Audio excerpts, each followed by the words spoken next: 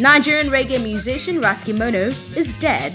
The reggae star, who is known for his hit songs like We Know Once and Rhumba Style, had reportedly concluded plans to travel to the United States on Saturday. Sadly, he was rushed to a hospital in Lagos on Saturday where he passed on in the early hours of Sunday. Born Ukeleke Oumbuya on May 9 in Delta State, he celebrated his 60th birthday amidst fanfare in Lagos a few weeks ago. In his lifetime, he exuded energy that could easily rival that of any young musician on stage.